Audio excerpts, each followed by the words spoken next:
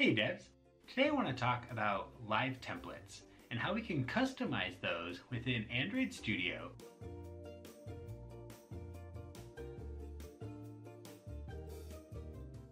So first off, what are live templates? Live templates are a bit of code that we can auto-generate by typing in an abbreviation and then hitting tab or enter.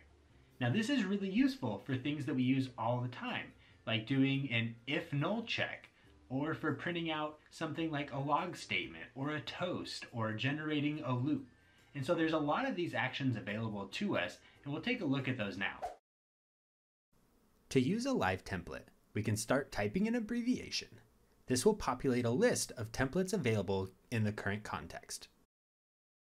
In this case, I type log and I see a number of different live template options that we can select. We have ones log D, log E, and etc. for the different log commands. If we then select one, we see that it generates the logging code automatically.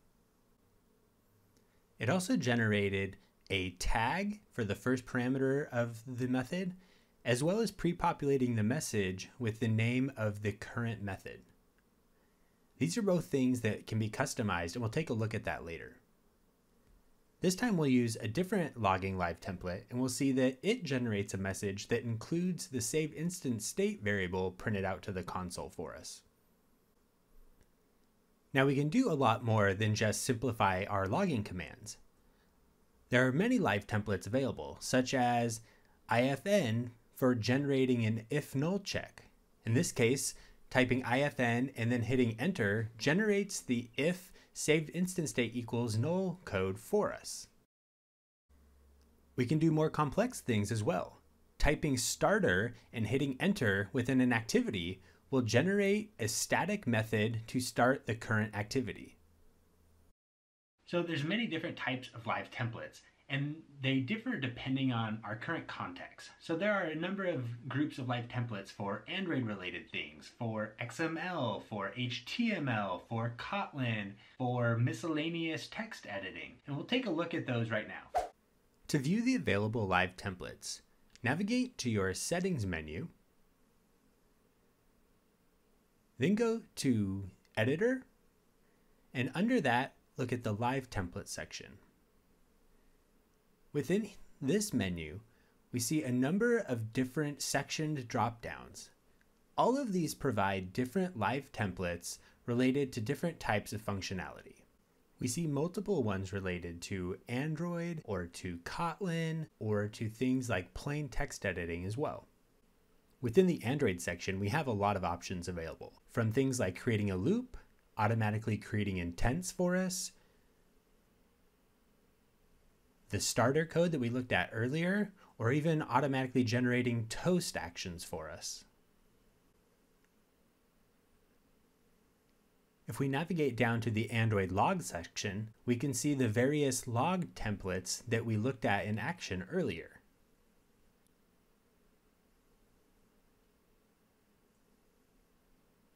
If we then look at the Kotlin section, we'll again see a number of commands, although in this case we don't have the Android related ones like we saw up above.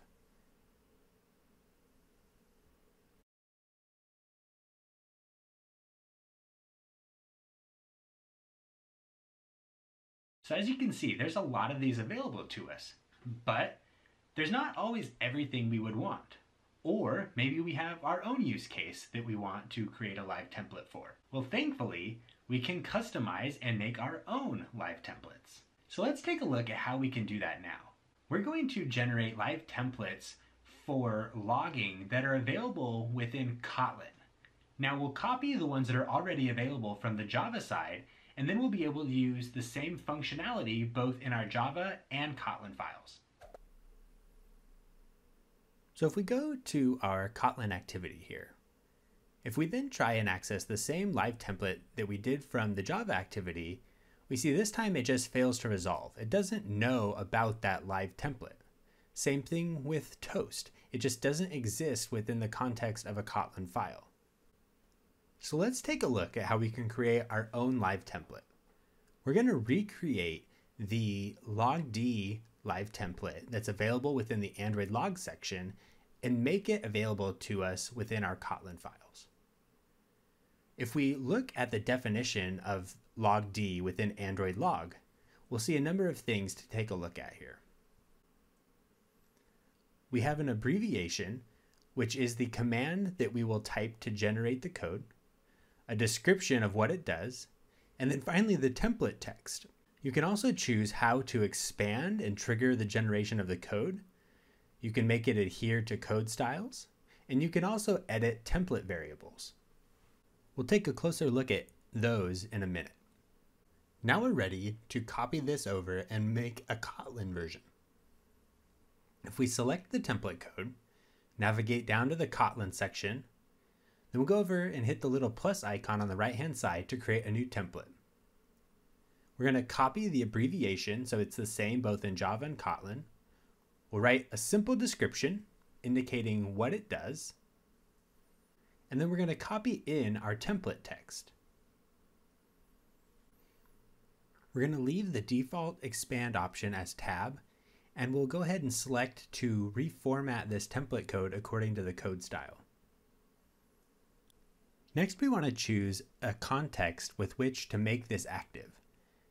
Now, we'll start by just selecting Kotlin in general. And if we expand that, we'll see the different Kotlin specific contexts available to us. Now, we wanted to make this as close to functionally equivalent to the Java version as possible.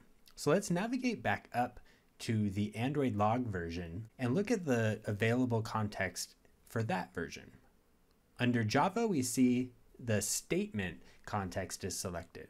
So we'll go back to our Kotlin version and update our contexts so that only statement is selected. We can use these contexts to make our live templates smarter by making them available when most useful. Now if we go back to our Kotlin file and type logd, we see that we now have our template available to us in Kotlin. However, it's not quite the same yet. We don't have the method name auto-generated for us. Let's fix that now. If we go back to our live template definition, we see that in the template, we do have a property for method name. But if we open the edit variables dialog, we see that it's not defined.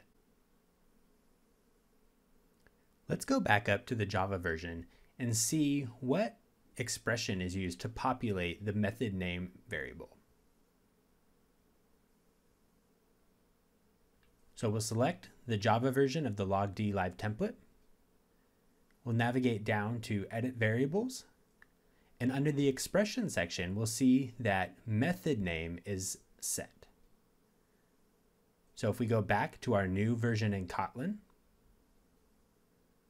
we'll again open up the Edit Variables window. We'll click under the Expression drop-down menu.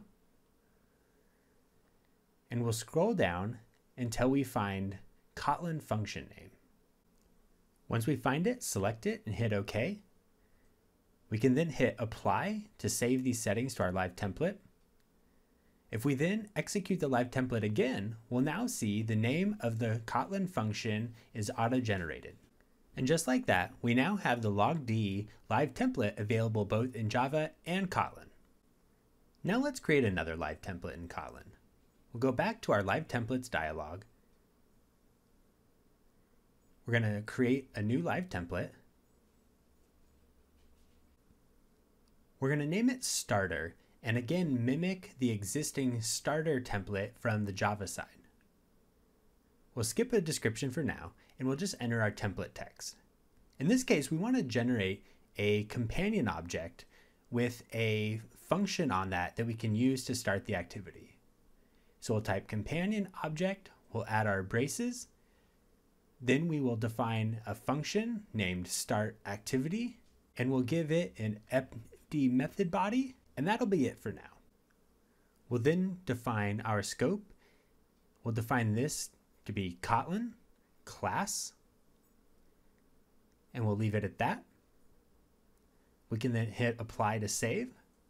And if we now within our Kotlin activity type starter and hit tab, we generate that code for us. Now I want to go back and take a little bit deeper look at how we can edit our variables within the live templates. Remember our log templates automatically add a tag variable to the method. However, that's not defined within this given scope. So let's look at how we could replace that and take a deeper look at the variables. If we open up our template once again, we see that within the template text, we define tag. So that gets added as plain text. But we want to replace that with a new variable. You see that our existing variable method name has the name and then an expression. The expression defines what the value will be based on the current context. So let's replace tag with a new variable called class name, which is wrapped within quotes and within dollar signs. If we then open edit variables, we now see the class name variable available.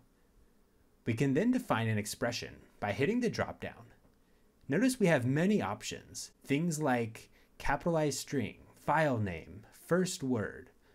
In our case, we're going to choose Kotlin class name and hit OK. This will get the name of the class and substitute that value in as our string. Now when we generate the code, the name of the class is pre-populated. All right, that's it.